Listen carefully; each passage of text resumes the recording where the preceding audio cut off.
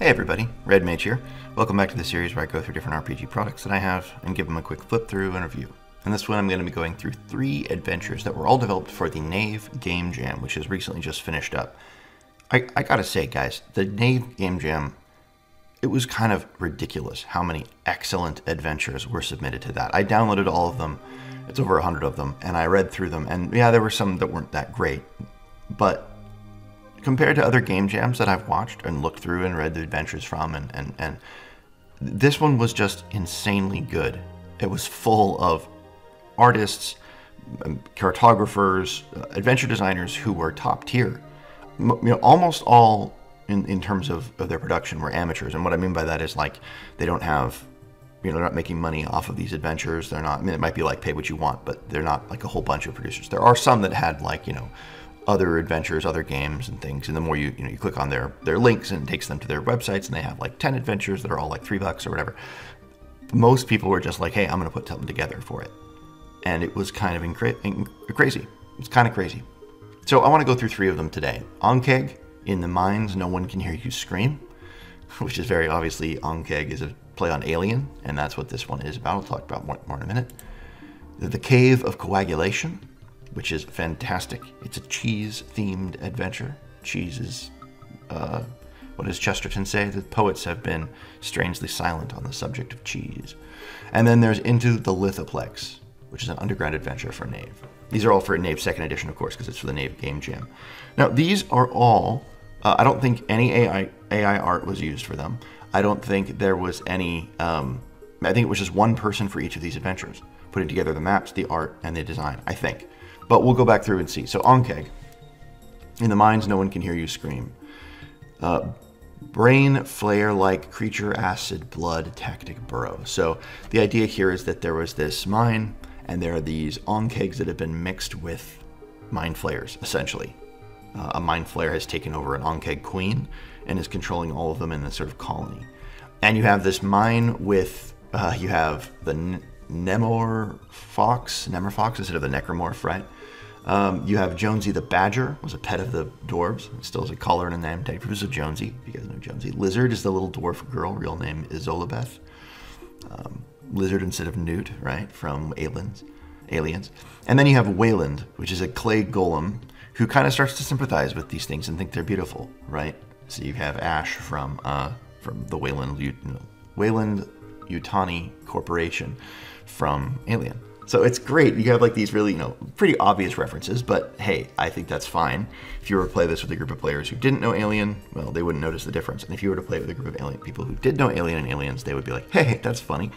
And it might be lift the tone a little bit, which is an otherwise pretty gruesome, gross adventure. Because you have these mind flayers that are doing like skull bursters. They, they, they attach to you, a thing gets into your head and it bursts out of your skull, killing you and creating a new creature and then some of them become warriors, and then the, the queen is in the background. So it's really, really interesting. Um, I think it's great, and it's just a very simple adventure. You have the um, wandering encounter chart. Um, you have the delve shifts, things that can happen on a delve shift, magic and useful items you can find, and then you have each of the locations marked and what's there and what's going on there. And it's pretty simple. Things like chains and broken lifts, crank systems, mule corpses, caustic puddles, badger, Jonesy the badger. Um, uh, you have the deserted guard post, Ankeg attack. Um, trying to drag at least one person into the wall and to burrow away and to devour. The skittering barracks, the tattered mess hall, the hidden well. Here you have the map, and it's very, like, almost sci fi, right? It's got that green scan look to it. And at first, it looks really, really linear, but what you see is actually that there, once you get to about room five, you have, you have multiple ways of going for it. It's you, know, you take left or right, granted, but still, it's like do you go this way or that way? And then once you get into nine, you can choose to go down the shaft or you can go down the stairs. And once you're in 10, you can go through into 12 or 14. Once you're in 13, you can go to 16 and 12. And then it looks like there is a, a different ways of getting down to 17, or at least there's one way to get down to 17 and then 18. So it does have some choice. It's not completely linear. It's not wide open. There's one way in and one way out. And I think you're once you're in, you're kind of stuck. That's kind of part of the idea here. You don't easily get to leave. But it's pretty straightforward of a map. Still, there's enough choice that it would be like, okay, it's not just room to room, okay, we, we you know curated experience this room, then that room, then this room. I wish the map were a little bit more frequently, but that's fine. It's not that big of a dungeon, so it's not too hard to find out. Um, and then you go all the way down to the brains of the operation. Um, you have the monsters, which are these new sort of creatures. Um, yeah, I think I think it's it's it's pretty good. the mind keg queens instead of om kegs, they're mind kegs, and that's it. I admire her pu- its purity, a survivor unclouded by conscience, remorse, or delusions of morality. Ash, the science officer. I think that's um, I think that is Ian Holm in the Alien. Yeah.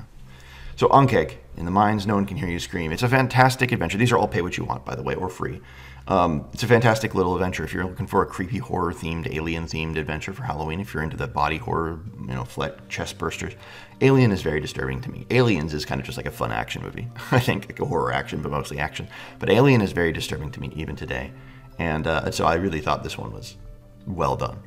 It really gets that. It evokes that mood. It evokes it very, very well. So Ankheg. I highly recommend you guys check that out.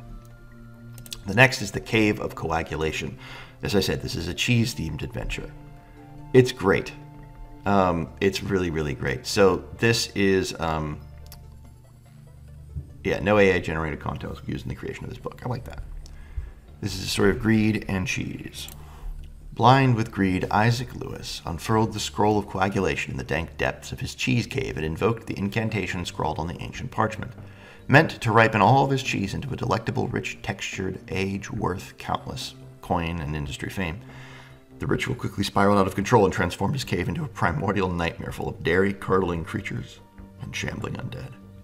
In a last ditch effort to reverse the spell, Isaac tore the scroll to three pieces, but it was already too late. Now the fragments are strewn about the cursed cave, and Isaac is doomed to lurk its halls of decaying and tainted cheese as an abomination of nature. So you've been sent in to find out why the cave deliveries are not being although by the cheese deliveries are not being done. And inside you have the cheesemonger. And yes, it's great. You have to find the fragments of the scroll and reverse the curse. So that's the idea here. But it is a fantastic little adventure in terms of that theming. So you have a very simple dungeon. Again, it's got that sort of variation on choice. Okay, you can go here, here, here, here. It's not super open. But that's fine. That's fine. There are plenty of ways to proceed through different paths, passages to choose. You know, dead end in six, so you have an alternate or an optional path there. All those things. Plenty of plenty of places to explore for a short dungeon. Your players are going to have a good time and not feel railroaded here. A D20 encounter table, and they're hilarious. Uh, acidic drips from the ceiling. A bloated cheese wheel erupts, spewing noxious spores. A hunk of bioluminescent cheese that can be used as a torch. Um, ancient, un, ancient wandering undead miners appear lost a man ape surrounded by D4 more, watching, enthusiastically clipping, clapping and hollering as him tied a mutant cheese mite, or attempting to ride a mutant cheese mite. Six feta fiends, D600 mutant cheese mites, D8 undead cheesemakers. It's so good. Dairy devils. Whey potion table. Anyway, now you get the adventure, and what you have is each of the different rooms is marked, is drawn on each room location. So you know exactly where you are as it moves from room to room. So number one, number two, and there you see them right there. the layout is great. You have the um, the yellowish backgrounded um, highlighted things with uh, bolding. You have uh, italics. You have green backgrounds. Have, it's a very very simple, um, but effective formatting. I like it a lot it's appealing to me. It doesn't look usual. The green and the yellow it kind of has that. I don't know. It just doesn't look like most people, uh, most adventures. The adventure is pretty straightforward in that regard, right? You're going through, you're fighting these undead cheesemakers, you're fighting um, creatures that have related to cheese. Uh, it's just funny. The stuff you're finding is all about cheese. There's a statue of a god of cheese. Um, there's some tricks, there's some traps, there's some uh, role playing to deal with the torture of renewal. That's pretty cool the glass of past hours. It's also pretty cool. The Terminus Riz. Uh, there's just a lot of really good um, funny magic items and and just I don't know. It's a very interesting adventure. It's very good. I, I like it a lot. You've got you know, Gouda golems. I'm I'm a, I'm a, I'm a sucker for pun dungeons, and this is basically just full of, of cheese jokes and puns and and and yeah, I think as a one shot, this is hilarious. There's a character named Brie Larceny. Ah, come on, how can you not like it? Uh, it's really funny. Um, yeah, she's not a good. She's not very nice. uh, you have the stomach sw- smells sweet and acrid. They have the Witch of the Whey. Uh, she's arrived from the future, but that's all in the past. Um, yeah, she can tell you how to undo it if you treat her right. So there's some role playing, there's some fighting, there's um, again tricks and traps and stuff to encounter and how to deal with these various problems. Right, the barrels block the entrance to the milk cellar currently occupied by three drunk dairy devils. Players decide to destroy the barrels after the devils will become aggressive. It can only be calmed down by a successful DC 17 charisma check. If combat is avoided, they will insist the players leave. So there's um, uh, you know 600 pound barrels of milk, sour milk, blocking the way. How are they going to get past? There are lots of things like that where you're like, okay, well, what are we just to do? Are we to fight our way through? Are we to brute force it? In which case, you can do that, and then there's you know results. But uh, if you if you go around, or if you find another way to get through it, then there's another suddenly another uh, another set of choices. So it's not just a combat dungeon. It's not just going through fighting, fighting, fighting. So it's pretty cool. The three uh, uh, Dairy Devils are named Calm, Colin, and Clove. Yeah. Tyromancy boon. Life, death, love, fear, strength, and knowledge. And you can find the three pieces of uh, Scroll of Coagulation. There's the Limburger Lich down here. That's Isaac Lewis. He's now the Limburger Lich. And the Scroll and the Limburger Lich, depending on how the players are faring when they enter the South F Vintage. The GM is free to place the Limburger Lich towards the back and roll a couple more times on the D20 encounter table as the players make their way towards him. The players have a variety of options with how they proceed, some of which are steal as much ripe cheese as possible, return to town to sell it, keep them distracted and use the scroll, uh, slay him, uh, leaving them free to haul away the cheese and perform the ritual to lift the curse at the cost of Isaac's life. So you can choose how you want to proceed there. The ritual is pretty simple. And then you can get some whey potions, some enchanted cheeses, and what waits behind the wall in the south of the adventure. Wheel from cheese, rind and age so ripe, time against we turn. I love the Cave of Coagulation. I think it's hilarious. If you're interested in a cheese themed adventure, I highly recommend it. Not that usually people are in the mood for a cheese themed adventure or it's not top of their minds, but if it happens to be, this is the way to go. and I think given that this exists now, it should be on top of your mind. Okay, the last one is Into the Lithoplex, underground adventure for Knave 2E. This one is really, really cool. So the idea here is that there's this vast wasteland and a huge entrance, a chasm, which opens up into a, an underground, you know, uh, cavern, huge underground cavern with a citadel and a city down there. And um, at the bottom of it is a temple, which is buried with a double R. Um, and a fungal farm, the chasm, the ruined city. And it's just this this idea that uh, it's not really a there's not really a set reason to go down here in this adventure, as you'll see. It's kind of up to you to explore. So there's a surface, and I love the art. I love the art in this book. It's so so good. So there's a there's a an entrance up here, and as you can see, this this shaft is a small little town um, nearby, and there's some organizations. There's maybe some places. There's some NPCs, um, locations in this little town. And then you go down into the Citadel. It started out as a simple outpost in the ruins, the base for elevators, and a place where to temporarily stock items and cargo later transport to the surface. With time and a constant flux of adventurers and merchants, many people arrived and started to occupy more and more of the surrounding structures. Nowadays, it houses hundreds of people, and all the businesses and shops, location, anyone within the ruins might need to work and live. And so you have this this little uh, city growing up in the middle of the town, and there are locations, there are um, NPCs, there are events that are happening there. Um, and then uh, there are factions the Black Hand, the Veil of Mercy, the Iron Keepers, the Retrievers, and the Farmers Guild.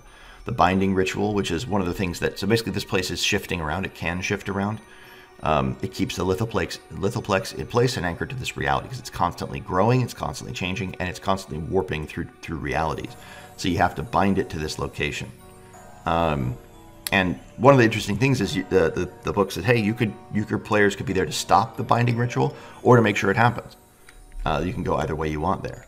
Warden Enoch. Um, there's the Silent Tunnels, Stitch Master Gregor, an elderly, uh, good natured goblin surgeon, has been trained by Enoch to perform the terrible surgeries he needs to stay alive.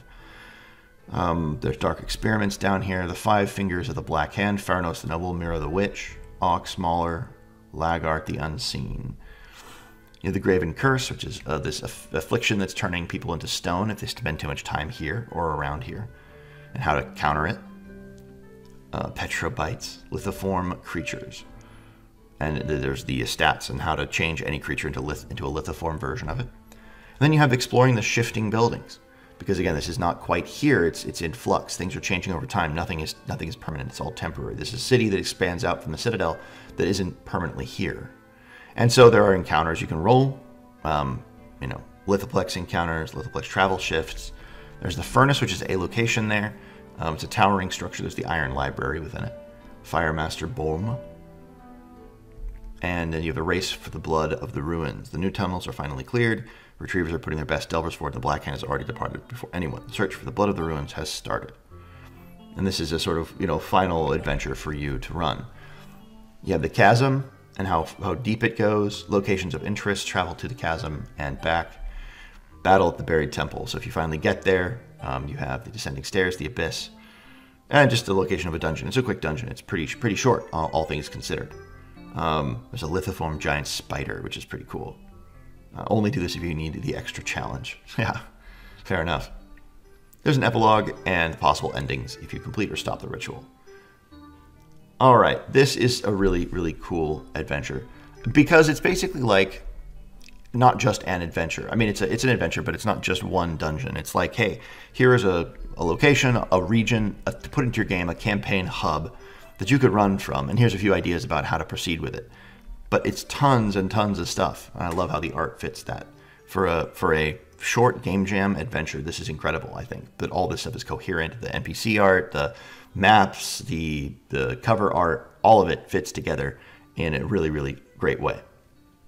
So I highly recommend you guys check out all of these. Again, they're all free or pay what you want, so this is amazing. Into the Lithoplex, uh, Cave of Coagulation, and Ankheg, all for the Knave Second Edition Game Jam. I'll put links below to where you can get them. All right, guys, that'll do it for this one. Hope it's been interesting, and I'll see you all in another video.